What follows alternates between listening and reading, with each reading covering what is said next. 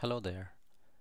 If you're creating a new field in Salesforce and you want to make it mandatory or required, you have three options available to you. You can do that at the object level or in your page layouts or you can define certain business rules or validation rules. So the question is which option is the best and why you should choose one over the other. Well, my hope is that by the end of this tutorial, we should have an answer. So to quickly set up the context, first, you can make a field required by using a flag called required at the object level. And we are going to take a look at this quickly. You can achieve the same goal when you're defining or customizing your page layouts. And lastly, you can achieve the same goal by defining certain business rules and make a field mandatory. So what are some of the pros and cons of each of these options? So let's dig a bit deeper for which I'm going to flip my screen over to my Salesforce dev org and select an object. I'm going to select opportunity object where I have a bunch of custom fields and I'm going to select one called product usage. And as you might have guessed, I was referring to this tiny flag called required. It's rather straightforward to check this box on but it has a lot of implications on your design and product usage, rather application usage. So before you select this option, I urge that we look into these three or four questions. And first one being, if you will always need this field to be required for all record types all page layouts and all of your profiles. In other words, do you want this field to stay required in all situations? And even when you are doing data imports, is this field a required field? And lastly, do you want this field to have an uniform level of read and write access to all of your profiles? And if you are satisfied with these questions rather answers and you still want to select this option go right ahead. So let's just do that for a moment. And as you suspect now this field product usage is required for all sales processes. And by the way I have two one for product sales and the other one is for services. So regardless of who is logged in or which record type you are using this field is required as apparent by this vertical red line in all situations. So if you try to create sales um, services opportunity that field is required as well But is that what we really wanted?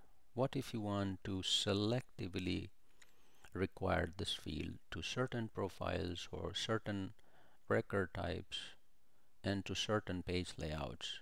And if that's what we need, I think it's worth looking at option number two, which in my opinion is a preferred method almost in every situation because it gives you the flexibility. You can make a field required in certain situations and yet you can maintain field level security. So if you go back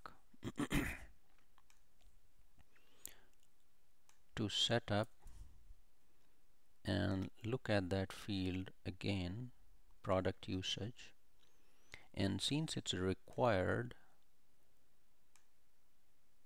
option 1 we don't have a lot of flexibility to make this field visible or make read only but if you undo this now you can choose to make this field visible to certain profiles or make read only to other profiles. So that's I think the beauty of this option.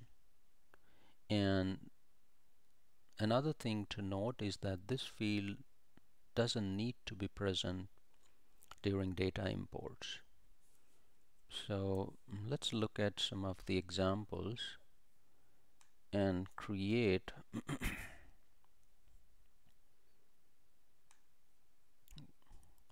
uh, these are some of the page layouts I have. And this page layout applies to product sales opportunity and this one applies to services sales opportunity. So let's say we want this product usage field being required for product sales.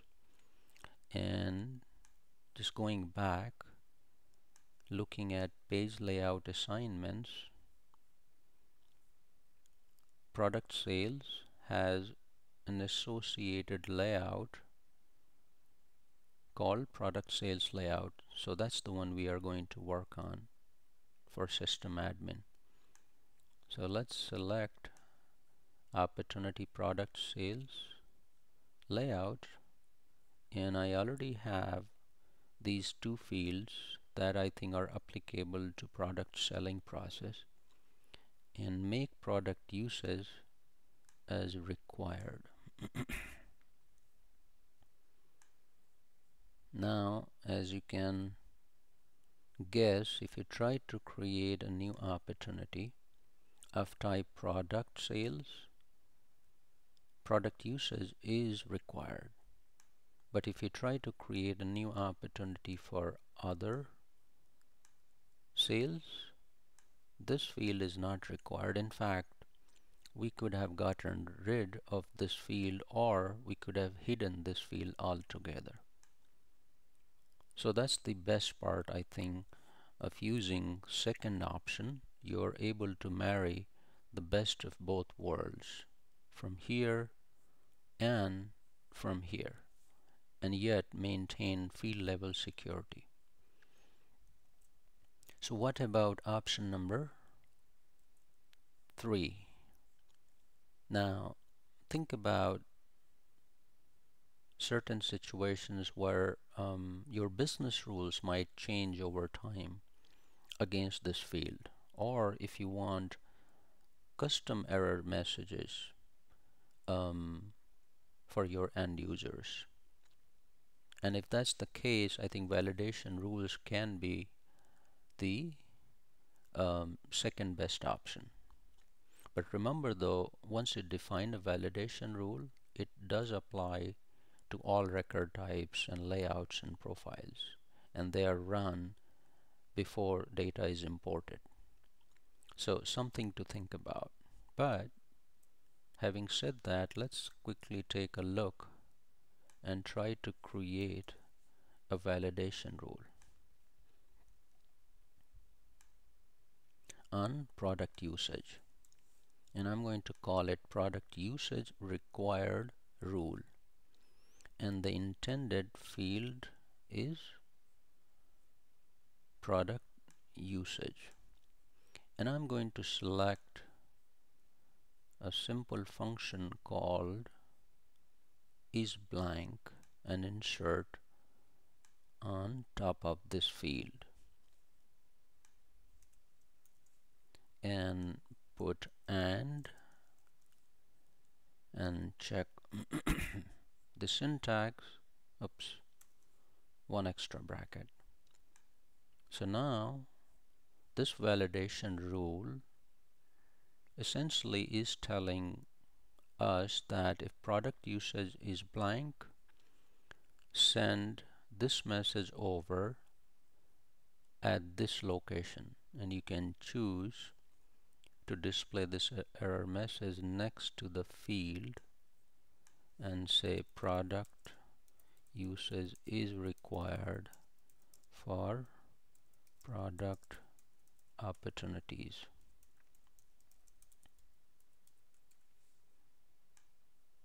And with that if you try to create a new opportunity and I'm going to enter some fake data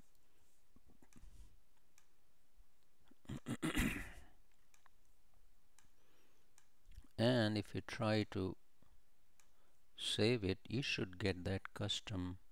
Oh what happened? Well I think I have an idea. Let's go back to page layouts. And I think we still have that field highlighted as a required field so this rule is taking precedence over the validation rule. So now if we go back and try to create a new opportunity